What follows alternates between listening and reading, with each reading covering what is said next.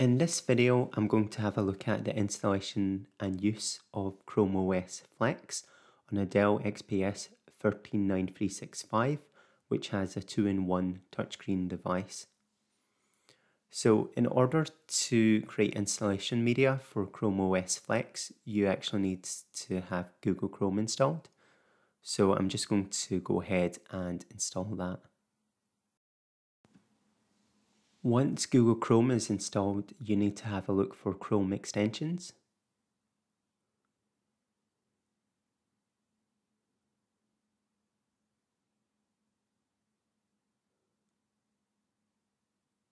And then search for Chrome Recovery utility. And then select Add to Chrome. And then select Add Extension. So once the extension has been added, select Extensions and then Chromebook Recovery Utility. So what this is going to do is it's going to create a bootable USB. So insert your USB flash drive. Then under manufacturer, select Google Chrome OS Flex and then Chrome OS Flex. Now this is a bit confusing because they have a list of models so the models are only systems that have been sold as Chromebooks. There's actually a certified model list for Chrome OS Flex here. And my Dell XPS 13 9365 is certified here, but it's not listed as an individual model. So after that, select your USB flash drive and then select continue and then accept the user account control prompt.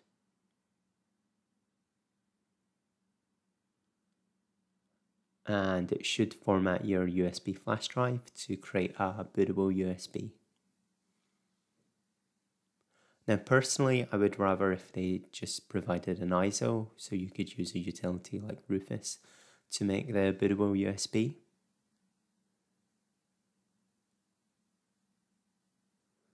So once it's finished, it will say your recovery media is ready and you can select done. So if I go to disk management, you can see how it's partitioned the USB flash drive. So it's a very small partition and most of it's unallocated. So now I'm going to power off this computer and insert the USB flash drive into my Dell XPS 13 9365 and I'm going to power it up and I'm going to press F2 to enter the Dell UEFI BIOS setup. So you can see my system information that is uh, XPS 13 9365 and if I go to boot sequence I want to make sure that all the old boot entries are removed and I've only got the USB flash drive displaying. Under system configuration, I want to select SATA operation and make sure it's AHCI. So I tried to install it using RAID and essentially during the installation it doesn't let you select your drive so it actually installed it on the USB flash drive as presumably it didn't recognize the internal solid state drive. So next I'm just checking all the performance settings are enabled and I'll also want to check that the virtualization technologies are enabled as these will be required to configure Linux when it comes to installing applications. So finally I'm going to go to the maintenance and select the data wipe and select OK and select no at the negatively phrased question. And now I'm going to exit the UEFI BIOS setup and save the changes. So I'll just select continue and then erase and so perform the internal wipe of the NVMe solid state drive and then I'll select OK. Okay, so now I'm going to press F12 to enter the Dell UEFI BIOS boot menu. And here I should see that secure boot is enabled and the Chrome OS Flex bootable USB flash drive displays.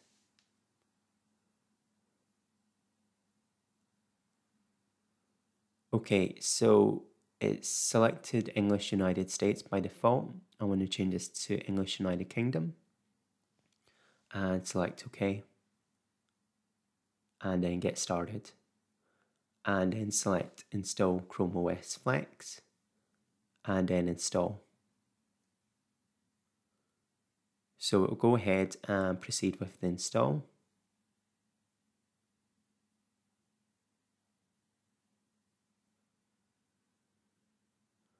And then it's going to prompt you to remove the USB flash drive and select restart.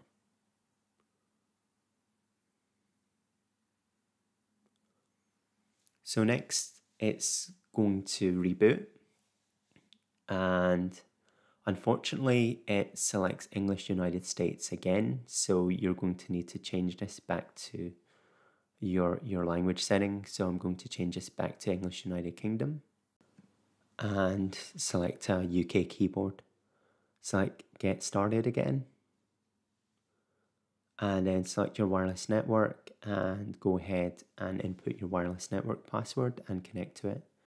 Select you and then select next and then input your Gmail and input your Gmail password. So this will log you in. Um, select accept and continue, accept and continue, accept and conti continue. And then you can optionally agree to the Google Assistant. You'll have the option to select the light or the dark theme. I'm going to select the light theme and now Google Chrome OS Flex is installed. So it's got files and the only folder within files is downloads by default. However, it's pretty easy to create a documents folder. And it's also got Google Chrome as expected and this works in the same manner as it does in other platforms. Most of the applications are browser based, so you've got Google Docs, which is a word processor, you've got Google Sheets, which is a spreadsheet. And as you see, these just essentially open up in, in a browser tab.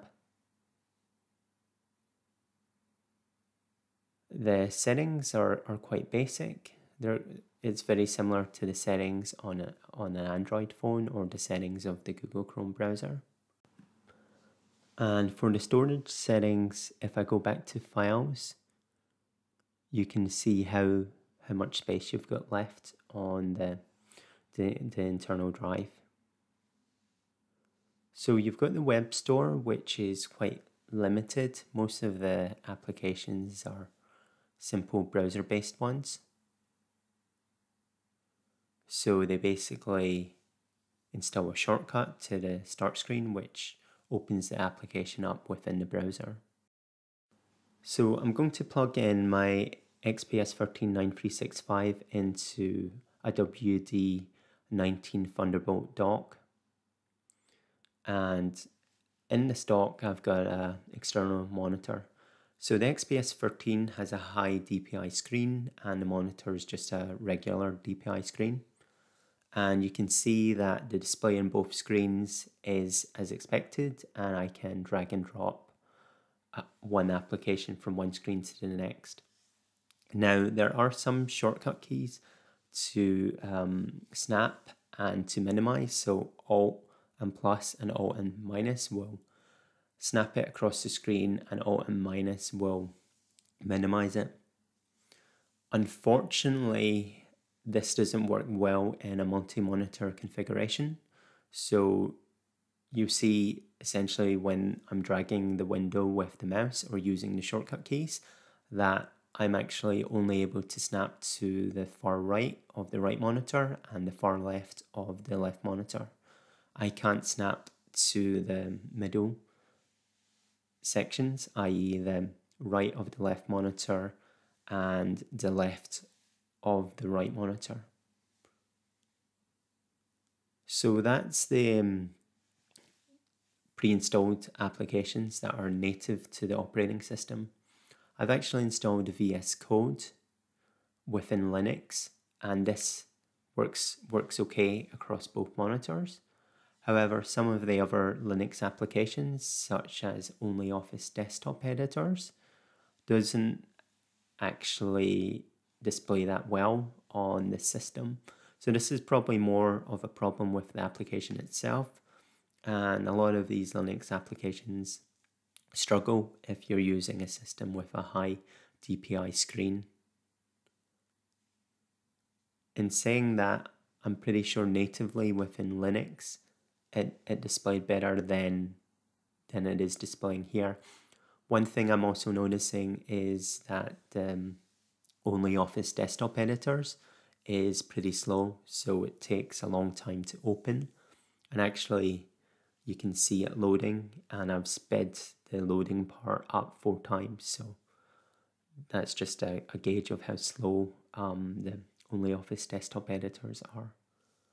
I'm going to also check LibreOffice, which is also installed within Linux. And once again, the display for this application isn't perfect. And this is probably because the XPS 13 9365 has this high DPI screen. Some of the Linux applications, such as VS Code and GIMP, display much better on, on both screens.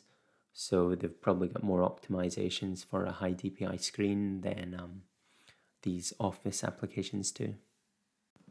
So there does seem to be a sleep issue when you have the system docked and you allow it to go to sleep. Um, you essentially can't wake it up again and have to force power it down and then then force power it back up. So I had to change the power setting so it wouldn't sleep. Okay, let's have a look at the touchscreen now. So the touchscreen works pretty seamlessly. So as you expect, Google Chrome works pretty nicely on the touchscreen. Now when the system's in laptop mode, there's no way of getting the touchscreen keyboard. This will show up when I convert it to tablet mode. Files also work well with the touchscreen. So essentially all the inbuilt applications are touchscreen friendly.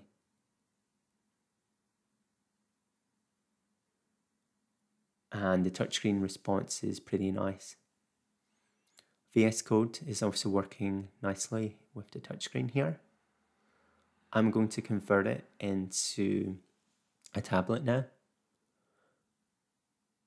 So one thing I notice on Linux applications such as VS Code is if I click into them, I don't get the touchscreen keyboard. If I do the same on Google Chrome, then I get this pretty nice touchscreen keyboard. So the touchscreen keyboard has has all these emojis, however it lacks the symbols that the touchscreen keyboard on Windows 10 and 11 has. Such as the mathematical symbols and, and Greek letters and so on, which as a physicist I actually use quite quite a lot.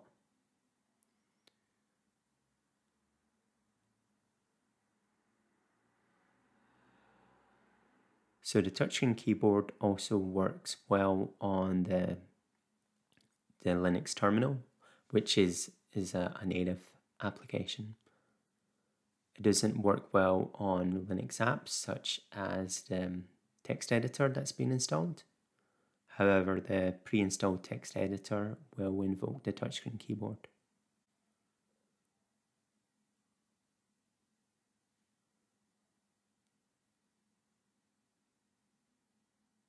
So when you attempt to press into a Linux application, um, and expect a touchscreen keyboard, you actually get a notification telling you that the touchscreen keyboard is not supported for Linux apps yet. So seems like they're working on this, and hopefully, Hopefully it'll work soon. So my device isn't auto-rotating. So it should rotate using a rotation sensor when I do this. Sometimes I need to open it up again. And then this just re-enables the auto rotation sensor. So this is now working as expected. And the display of native applications and the touchscreen matrix work as expected, whether on portrait or landscape mode.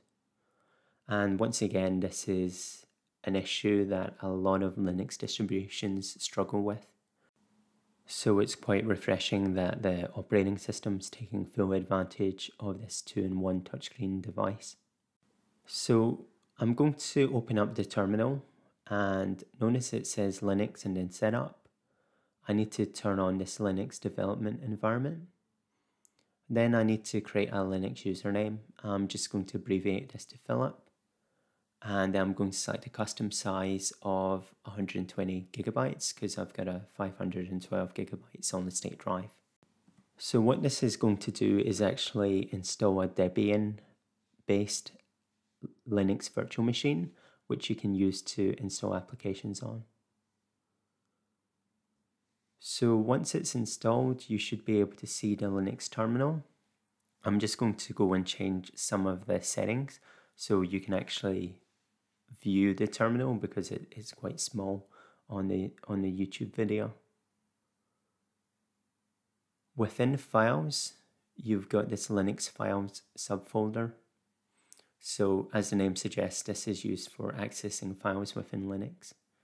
And you can drag and drop files from the, the operating system to Linux in order to access them. So now that I've increased the font size, let's have a look at LS. So nothing displays because there's no files in Linux files. Let's have a look at attempting to install some Linux applications. So I'm going to download the OnlyOffice desktop editors. And uh, the mobile apps are selected by default. When I select install, it takes me to Google Play and for some reason it doesn't work even though this is a Chrome OS Flex. I need to select the desktop apps and download the Debian file. So I can actually just install a Debian file by um, going to the file, right clicking it and select install with Linux and the installation is actually quite straightforward. It essentially does it in the background and then you get this Linux apps folder and you can just launch the application from it.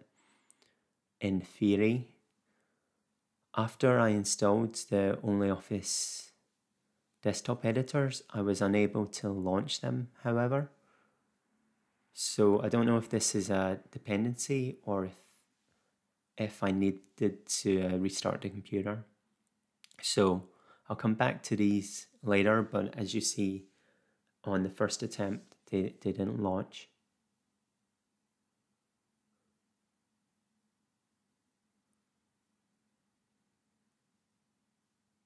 Okay, so let me have a look at installing Python now. So I'm going to install Mamba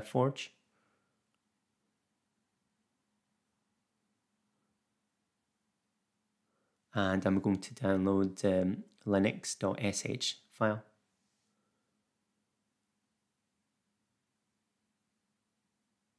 So what I need to do is copy this across to Linux files or just move it across to Linux files. So if I type in ls now, I see this file listed. I'm actually going to create some folders. So I'll just create a folder called documents and a folder called downloads. Now, unfortunately, the shortcut key Control Shift and N opens a new in incognito tab. And the shortcut key to create a new folder is Control and E. So this is inconsistent with both Linux and Windows, which is quite annoying because I'm quite used to this shortcut key.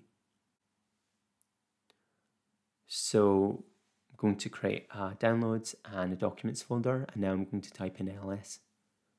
And now I'm going to change the directory to downloads and type in ls and I get this .sh file. So I'm going to copy the file name including the file extension and type in bash and then select the script file. I'm going to go ahead with the install and I've made another installation video on Mambaforge which covers this in a lot more detail.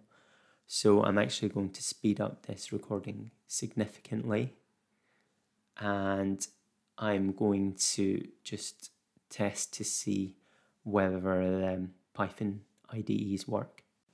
So since Mamba is installed, the base Python environment selected and I'm going to update it. So now let's attempt to use Python by typing in Python 3 and printing hello world. So this works as expected.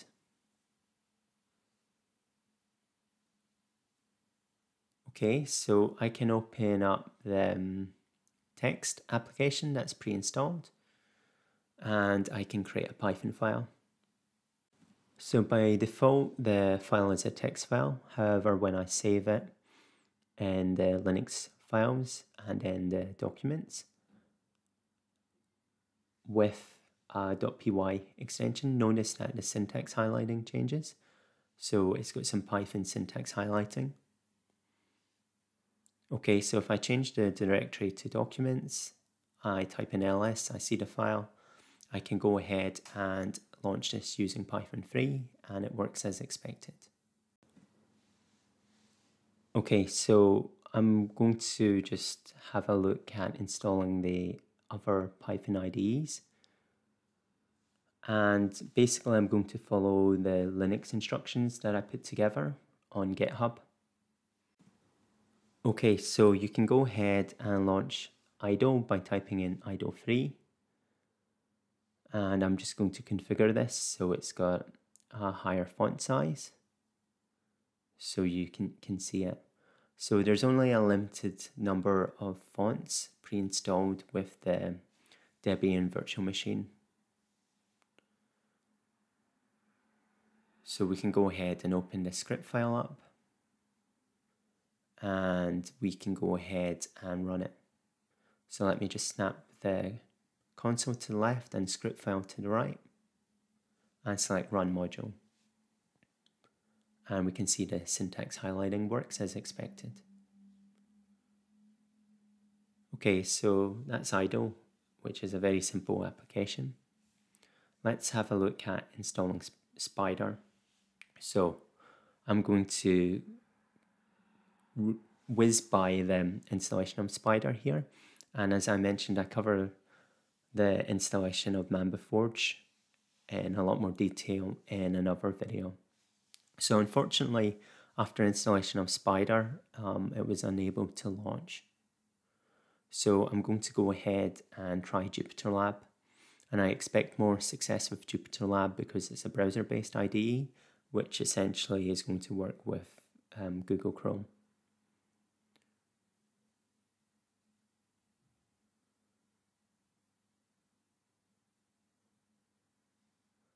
Okay, so Google Chrome opens JupyterLab up as expected. And I can open this script file up, create a new console for it, and go ahead and select run and then then run all. Run all code. And this works as expected. And I can create an um, interactive Python notebook So once again, I'm just going to whiz through this code. Just This is just a quick test to see whether the Chrome OS Flex is working as expected with these applications.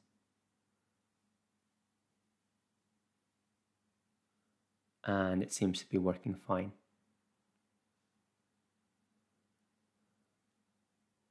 So I need to press Ctrl and C to close the Jupyter Lab server. And now I'm going to create a new environment for Visual Studio Code.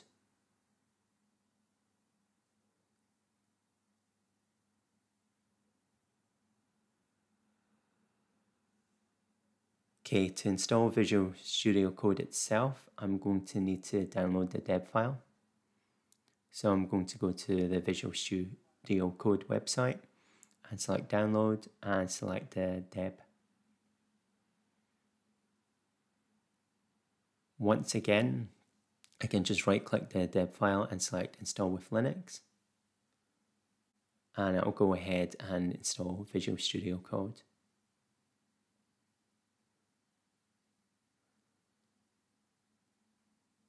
So Visual Studio Code now is installed. So it's going to display in the Linux apps folder. And this time when I, I click this application, it launches without any issue. So I'm going to change the syntax highlighting theme to light. And uh, then I'm going to install the Python extension. And I'm going to install the Markdown extension.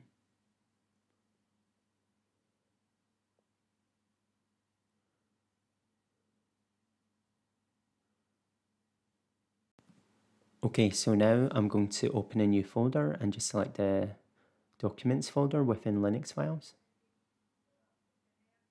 Uh, for some reason, it's prompting me to save this setting, so I'm just going to select don't save and retry opening this folder.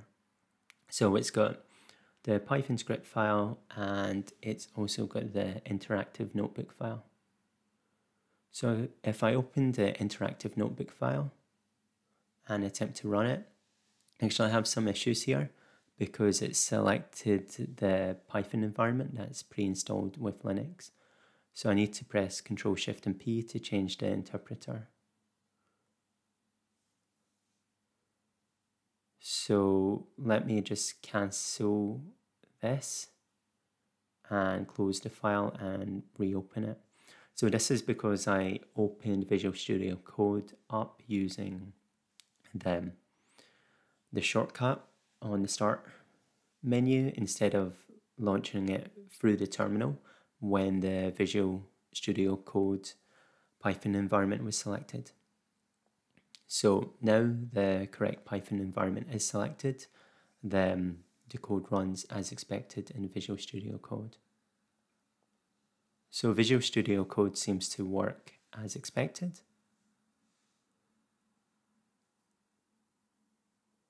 Let's have a look at installing some of our applications using the advanced package tool.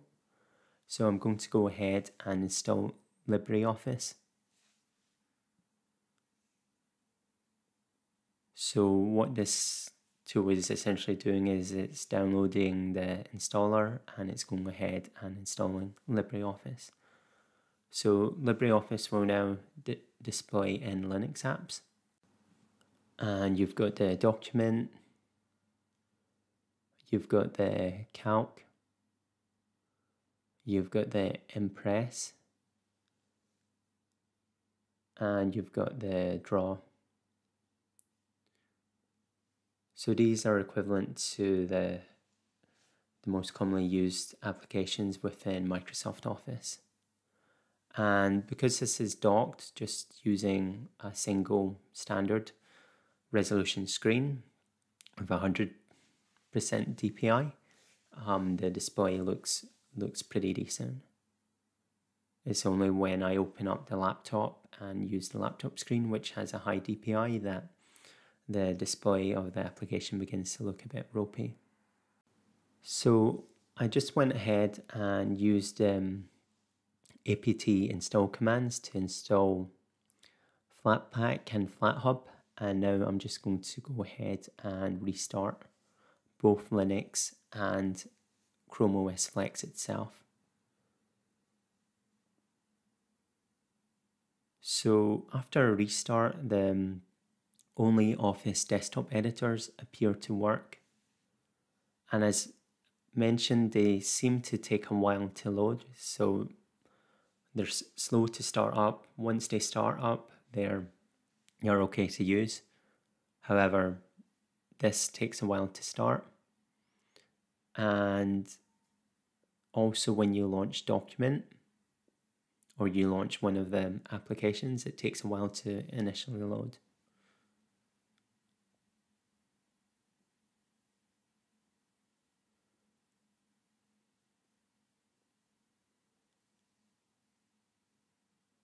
So I just want to check that I've got the latest version because I did have this issue on Linux on an old version. But it is the latest version, so I don't think it's version specific. I think it's just a bit slow running through Chrome OS Flex using a Debian based virtual machine. And maybe that there's some other dependency which isn't quite quite met within De Debian. So now that Flatpak and FlatHub are installed, I can go ahead and install software this way. So I'm just going to install GNOME Edit, which is the Linux-based text editor. And I'm going to go ahead and relaunch the Linux terminal. So let me activate the Spyder CondaForge environment and attempt to launch Spyder again. And this time it seems to work. So I don't know if this is because I restarted or because I installed Flatpak, which may have installed some other dependencies. However, Spyder does, does appear to work. And I'll just quickly input some test code.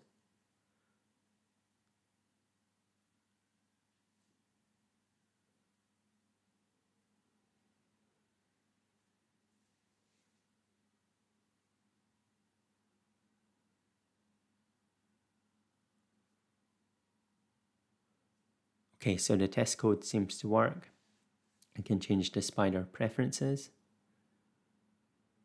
to use the light, light theme. And I can change the plot preferences to use automatic plots. And this will create a plot in a separate window and this works as expected.